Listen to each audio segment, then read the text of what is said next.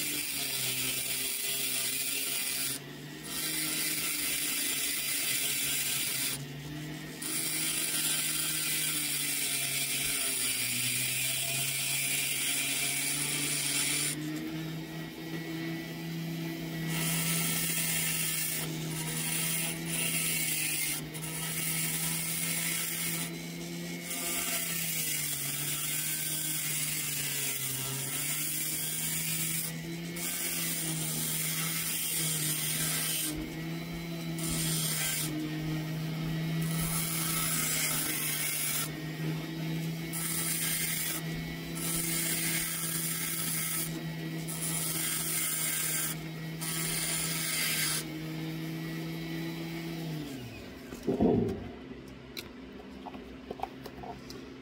right. So there's multiple layers I can see from the side. The next layer is right underneath that brown. I was able to get that clear chalcedony off. Um, for that I was using this hog burr. Uh, this is fully diamond sintered. So I like diamond sintered for fragile material. You don't want to flake off something you don't want. Um, I'll try to do what I can close up. I'm going to let Amber J go because this is an uncomfortable position to be filming from. And I'm going to switch up some bits and see if we can get a little bit closer. Okie doke. Okie doke. I still have a lip to come over and I still have to round this out. Um, this is a medium grit, full sintered bit. This is from Verancor. Uh, you can get these through Syntech Inc. I'll put a link in there.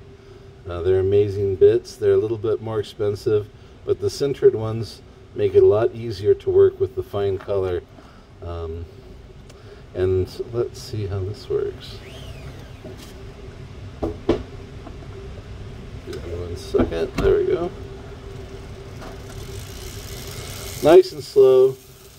I'm probably going four between four and six thousand RPM, and I'm going to use between one and three ounces of pressure at the most. I'm just getting these down to an even level.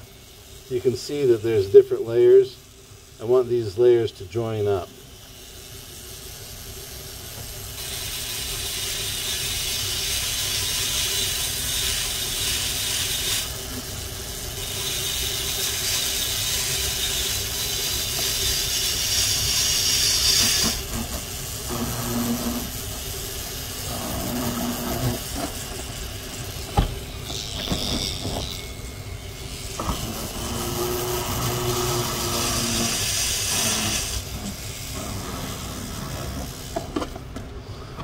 Let me fix this.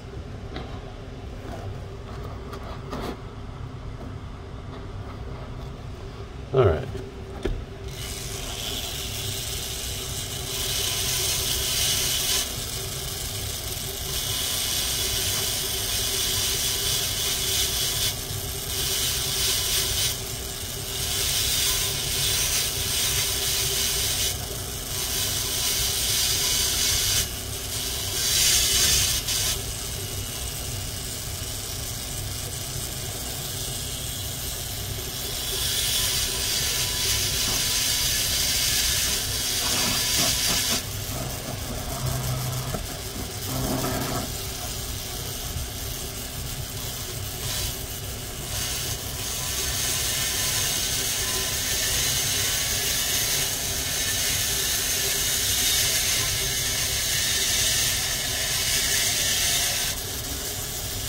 And try to follow the contours.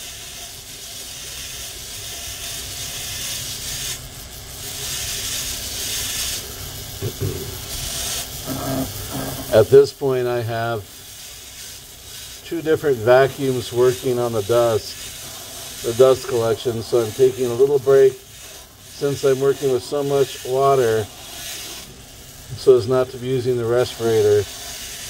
But if I was doing any more aggressive grinding or for any length of time, you should absolutely be wearing the respirator. It's a, just a good habit to get into.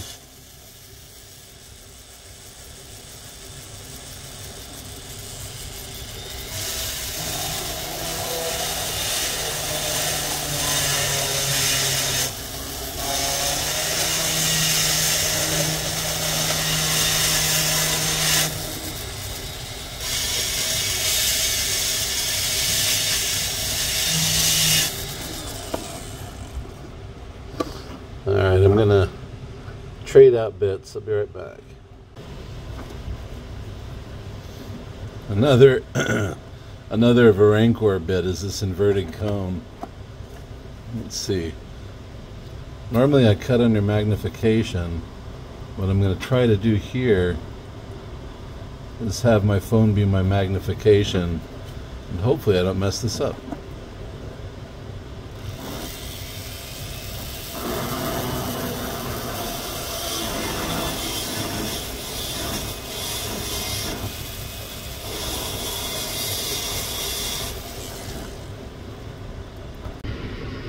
So this is just a snippet of what I was able to do off camera. I was able to get these two fields to join. They're still kind of dark. I still have to sand down more. The whole thing took me about an hour, hour and a half up close just to get in there kind of detailed and make sure I didn't lose anything. So tomorrow, with a fresh set of eyes, I'll come in and keep working down. I'll keep you apprised and I'll keep working on the longer videos, so we'll have that soon. Thank you again, and I hope you all have a wonderful night. Again, if you have any questions, just reach out, fireagatemark at gmail.com, and I'll put some links down below. Thanks again. Have a great night.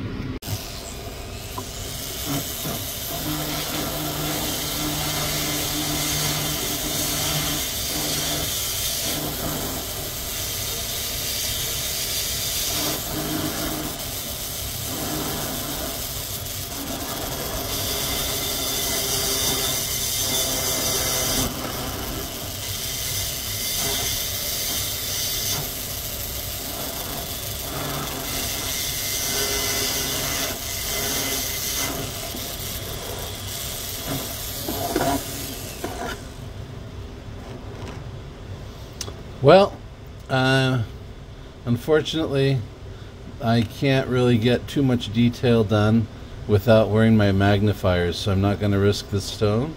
I'll show you a finished picture of the stone and know that I do have a large one I'm doing beginning to end.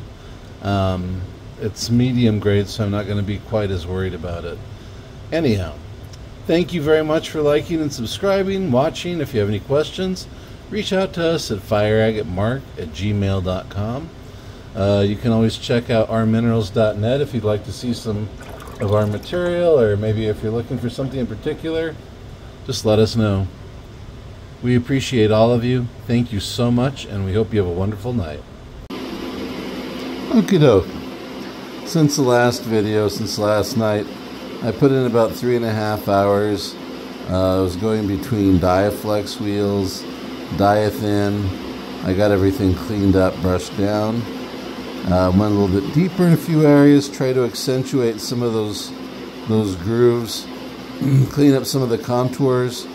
If you go deeper, you remove the, the uh, positionality of the stone. You make it so that the color is more apparent from every angle. So I did that, and then I polished. Well, I washed everything clean, and then I used some 14,000 grit super polish, and I used that for about an hour to an hour and a half with the soft um, wool burr and a long soft bristle brush, I believe horsehair.